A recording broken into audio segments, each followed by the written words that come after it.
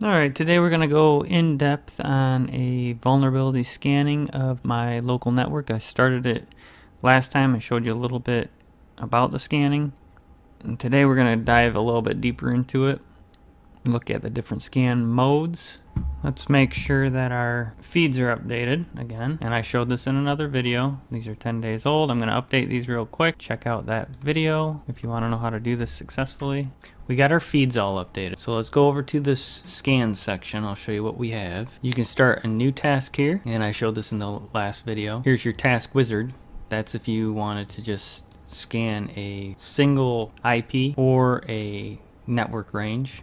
You could do a 0 slash 24 if you go to Advanced Task Wizard, you could actually set it up to start at a specific time. Keep in mind this is UTC time. You'll have to look, Google what that time is compared to your local time. Here's your hosts. Again, you can do a single IP or network. You name the task here. So let's just say we wanted to do a local test. Now here's your different types of scans. I'm going to just do a full and fast again. I'm going to show you what all these mean here in a second. I'm going to just start this immediately. So as I'm showing you the other features it's scanning. You could add SSH credentials here. So again it was my local was 0 slash 24 if I want to do the whole network. You can also do a I think 1 through this will do 192.168.0.1 through the 200 range. You can also do commas in between and then I could add more I'm just going to do the 0 slash 24. I'm going to get this fired off so I can show you some other stuff while this is running. So that should be everything on the 192.168.0 network. If I wanted to add SSH credentials, I could do that here. And I could set up a way to email it. I'm not going to do any of this right now. I'm going to start this immediately and I'm going to show you how to set up these credential things here too. And create the scan. It should launch off here. Now, if you want to customize this even more, what you can do is go to configuration and targets. You can set up your targets here. These are the ones that I did the other day when I was demoing this. But you could create a new target list. I'll show you this example. We'll call this YouTube demo. You could upload a file. That could be a TXT file with hosts in it. You can manually say what you want. You could then, if you want to do this whole range, and then you could exclude a host. Like say I want to scan everything, but during this engagement, we have a sensitive server at 192.168.201. If I'm doing an engagement for somebody and they say just do not hit this server, I could do that. This I leave by default at this. You could test these other ones if you're having issues getting scans back. Now this alive test, this is the scan configure default, which I think is a ping. I typically leave this at scan configuration default unless I'm having an issue getting results back, then I'll probably do an nmap scan of a network and then consider everything alive that I found out was alive during that nmap scan. Sometimes they won't reply to ping, and if the scan default is a ping, you might not get a result back that the host is alive and it might not scan it. So if you consider alive, it's going to try to find vulnerabilities on that system, whether it's there or not. The problem with always considering alive is that it can be time consuming because it's, it's going to try all the different vulnerabilities on a host that might not even exist. So you're just wasting time there. I typically leave this, like I said, at scan configuration default. If I scan a network and I'm not getting results back, I'll usually do an nmap scan and then enter the hosts in manually that it returns with that I know are there, and then I'll always consider alive and I'll show that in another video. Here's where you add your credentials. Say I know that there's an SMB server on here. I could add SMB credentials here in the form of a username and password. I might name this, so let's just say they gave me some credentials to use and it was test bob and admin password. Now this insecure use means that it will also try to use this username and password even in clear text. So you probably don't want to do this in an engagement. If you did this, allow insecure use, and it finds, like I showed you in that first scan that I did a couple weeks ago, it found an insecure login to my router.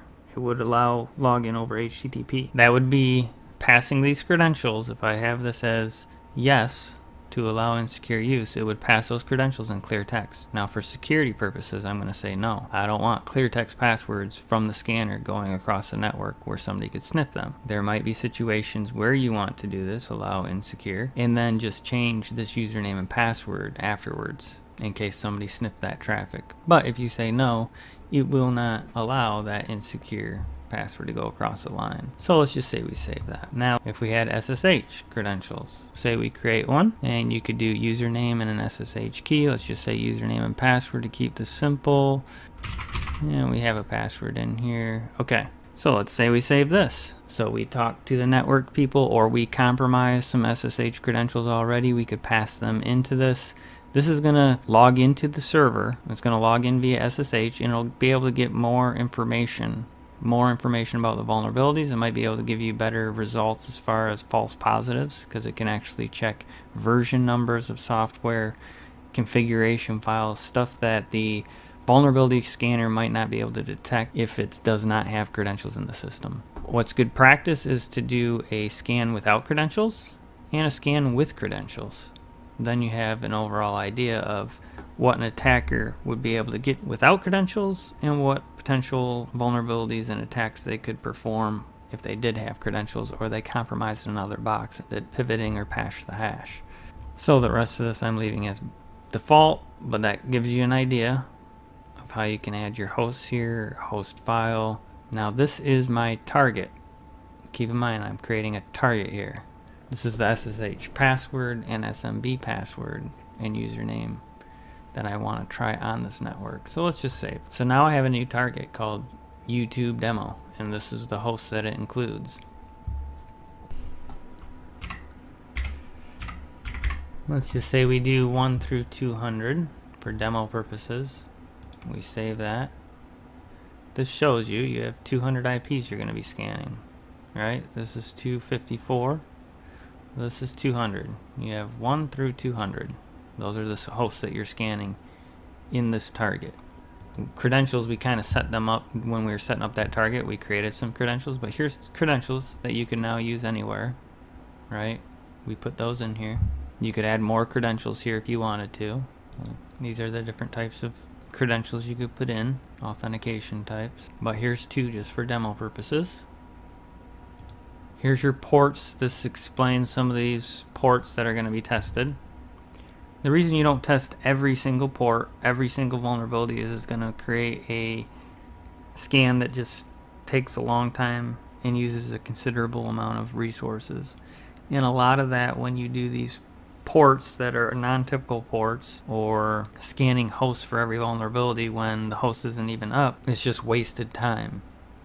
So you can see these this is the one that typically runs with the full and fast. It has 5,836 ports it's going to check on each and every live host. This one has 11,300 some. This one has 65,000. So you can imagine this takes a lot longer than these other ones. You could create your own. You could create your own ports that you want. You could choose a range.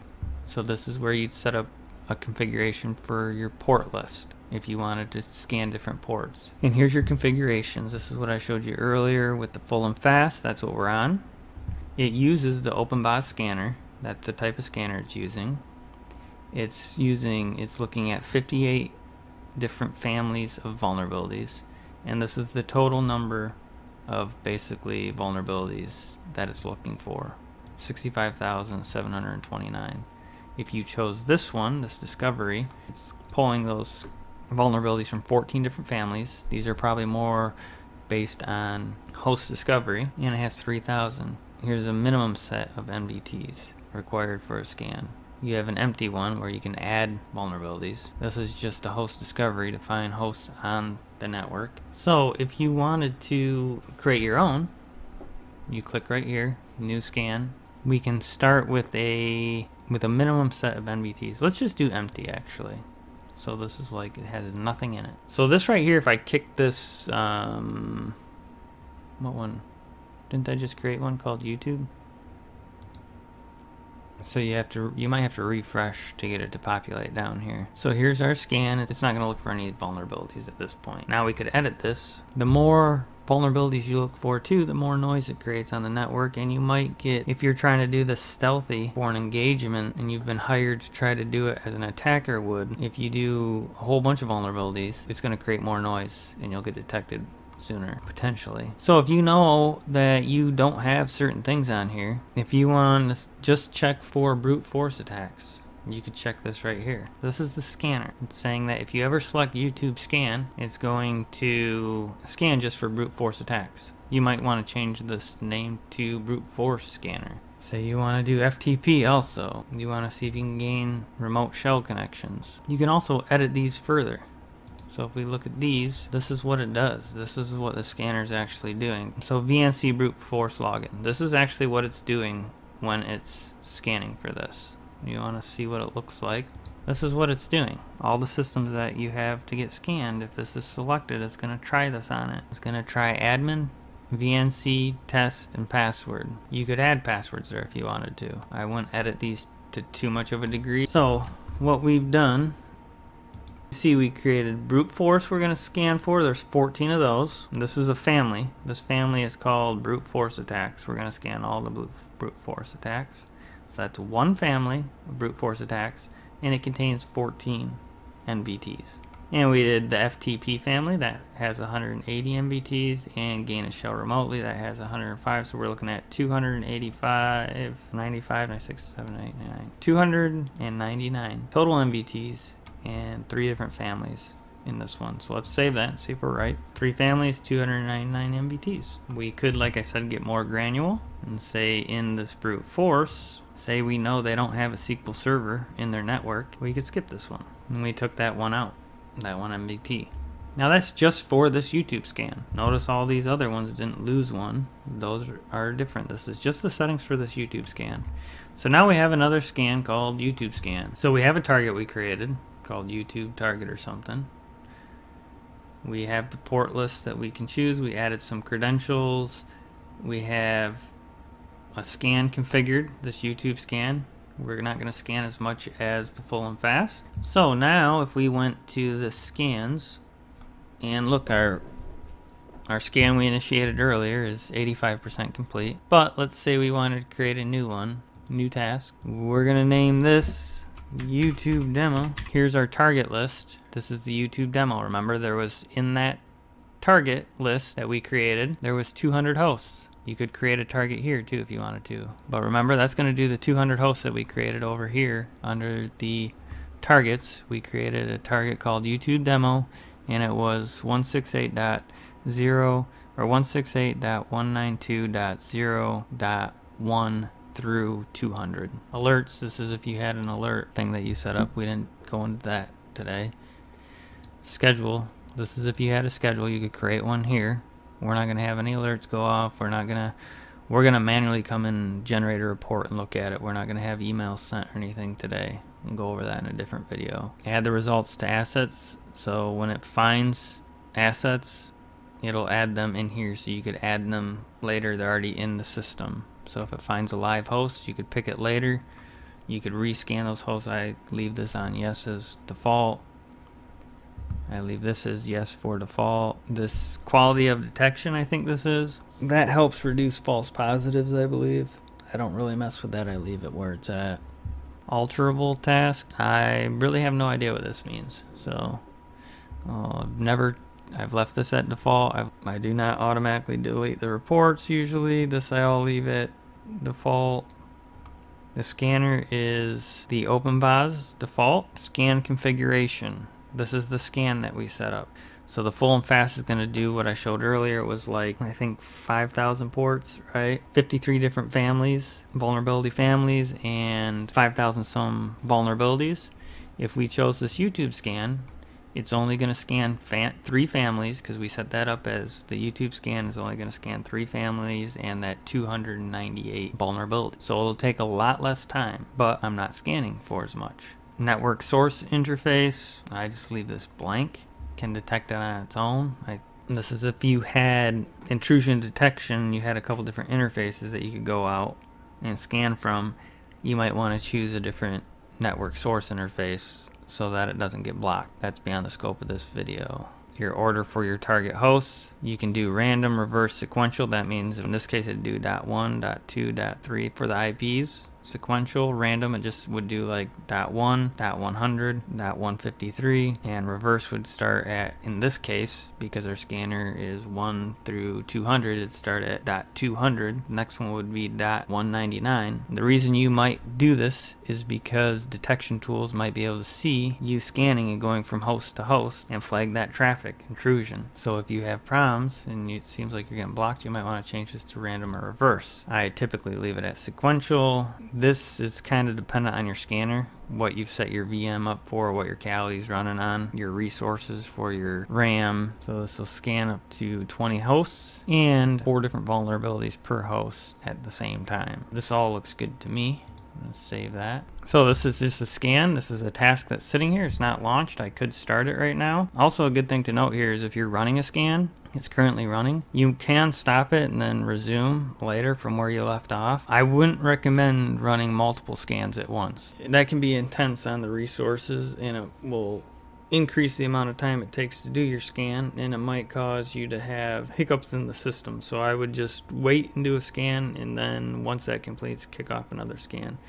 This one I'm not kicking off. You know what it's going to do. It's going to scan exactly the same as this local test that I just did except for it's only going to scan 200 hosts and it's going to only scan 298 vulnerabilities whereas this local test when we set it up it's scanning for 5000 some vulnerabilities and all the hosts Thanks for watching. Please consider liking and subscribing. Next time, a look at the scan results, how to generate a report so that you can have that as a deliverable. So if you're doing a scan for a company or you want to start doing this as a business, companies, you can generate a deliverable report based on your scan results and have recommendations for that company and organization. Thanks again for watching. Have a great day, and I'll see you next time.